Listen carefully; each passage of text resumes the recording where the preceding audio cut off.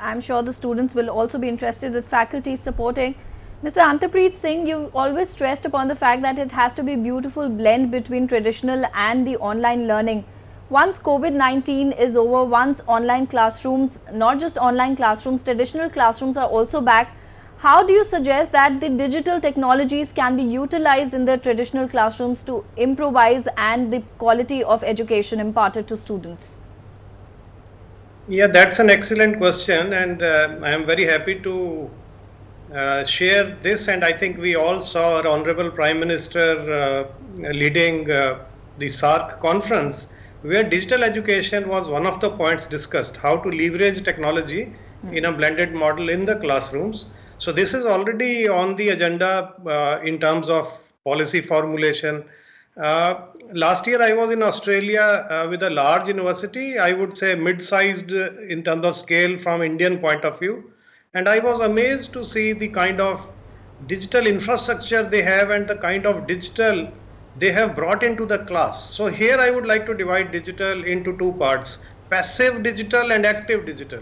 See, passive digital is for ages we have been using projectors, we have been using now uh, uh, more sophisticated projection systems.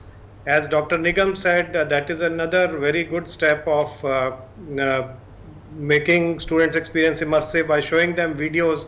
But I would call all this, I would put it in a bucket of uh, what I can call it. Of course, this is a spectrum, this is a continuum. Uh, this would be more passive technology inside the classroom. What is active side of the technology inside the classroom?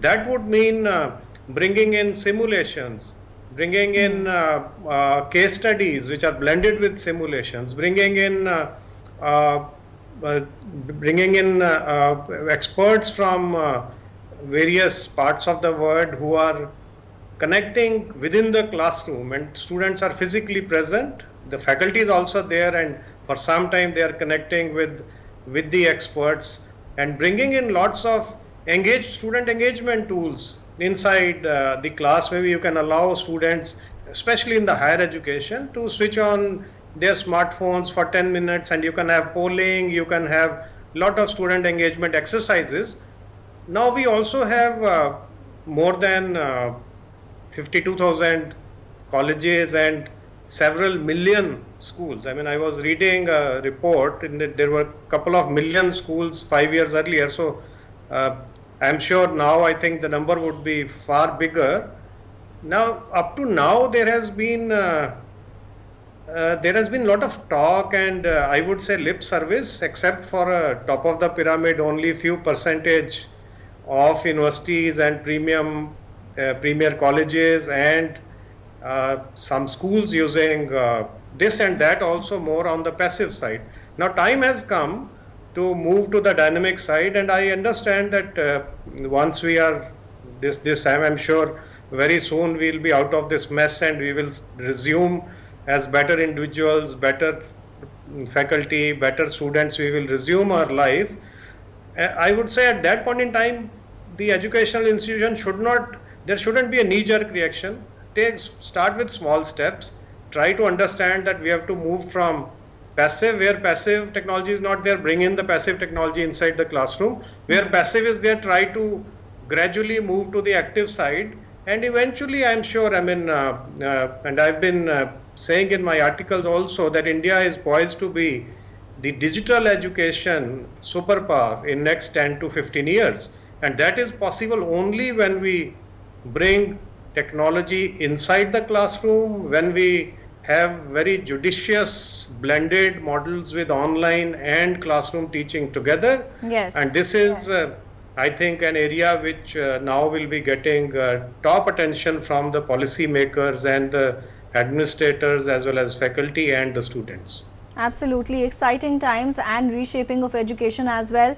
Mr. Bhardwaj, your final views on today's topic today is the online education as interesting as the traditional classrooms and how can future technologies help blend the both in coming times? Yeah, that's an excellent uh, question. I was expecting this uh, question in fact.